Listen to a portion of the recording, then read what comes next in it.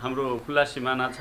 अनि यो यो चाहिँ नि भारतमा जसरी चाहिँ नि कोरोनाको केसहरू बढ्दै जान्छ हामीले चाहिँ दुई वर्षमा अनुभव गरेको चाहिँ हामी सबैले अनुभव गरेको चाहिँ नि इन्डियामा केस बढ्दाखेरि हाम्रो चाहिँ यतापट्टि चाहिँ प्रदेश नम्बर दुईमा पनि चाहिँ केस बढेको चाहिँ प्रमाणहरू आएको छ।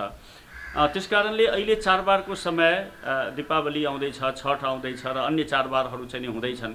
त्यस कारणले गर्दाखेरि र यो अक्रस द बोर्डर चाहिँ जो मुभमेन्टहरू चाहिँ बढ्नु स्वाभाविक हो चाडबाडको समयमा थुप्रै युवाहरू चाहिँ भारतमा काम गर्नुहुन्छ र उहाँहरू चाहिँ यो पर्व मनाउने सिलसिलामा चाहिँ नि आफ्नो घर फर्किनुहुन्छ। घर फर्किने अधिकार हो आउनु आउन पाउनुपर्छ त्यो सही कुरा हो।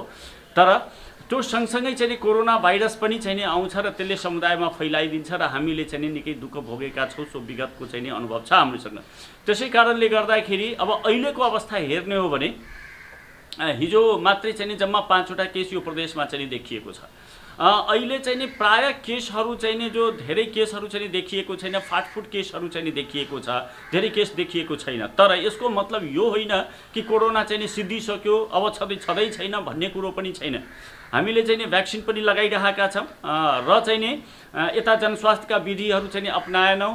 भने चाहिँ नि यो सङ्ख्या बढ्न सक्ने अवस्था हुन्छ र अर्को कुरो के भन्दाखेरि यदि चाहिँ नि कोरोना भाइरसले फेरि पनि म्युटेसन गर्यो र अर्को चाहिँ नि भ्यारिएन्ट चाहिँ नि नयाँ भ्यारिएन्ट आयो भने त्यो झन् जोखिमपूर्ण हुनसक्छ र चाहिँ नि पिकहरू चाहिँ नि यसरी चाहिँ नि इन्डियामा पनि चाहिँ नि पटक पटक चाहिँ नि यो केसहरू चाहिँ नि बढ्दै गएको घट्दै गएको बढ्ने र घट्ने क्रम जारी छ यसले के सङ्केत गर्छ भने हामी संवेदनशील र सतर्क हुन चाहिँ जरुरी छ भन्ने कुरो चाहिँ हामीले बुझ्नुपर्छ त्यस कारणले गर्दाखेरि यो चाडबाडको समयमा बढ्न सक्छ भन्ने चाहिँ नि हाम्रो अनुमान छ यदि हामीले चाहिँ नि सतर्क भएनौँ जनस्वास्थ्यका विधिहरू अप्नाएनौँ र भ्याक्सिनलाई चाहिँ नि एकदमै चाहिँ नि प्राथमिकताका साथ सञ्चालन गरेनौँ र बोर्डरलाई चाहिँ नि टाइट राख्नुपर्छ बोर्डरलाई चाहिँ नि कन्ट्रोल गर्नुपर्छ र चाहिँ नि आउने मान्छेहरूलाई चाहिँ नि ट्र्याक गर्न सक्नुपर्छ कहाँ गएको छ के गरेको छ र बोर्डरमा पनि चाहिँ नि हामीले के भनेका छौँ भन्दाखेरि चाहिँ नि कोरोना मात्रै होइन अन्य रोग पनि चाहिँ नि जो हामीले निवारण गर्नु छ त्यस कारणले गर्दाखेरि र किटाणुको लागि रोगको लागि चाहिँ कुनै बोर्डर चाहिँ हुँदैन।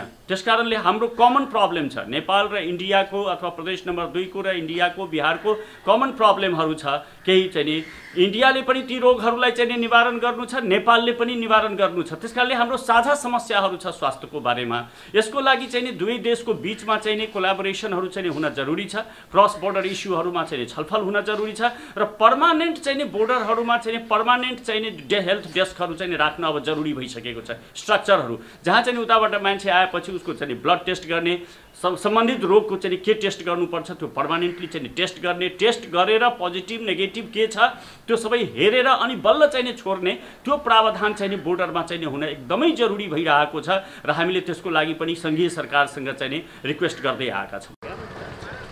वात्सल्य नेचुरल आइभीएफ आधुनिक चिकित्सा उच्च सफलता दर अन्तर्राष्ट्रिय स्तरको उपचारद्वारा सन्तान प्राप्ति सम्भव छ।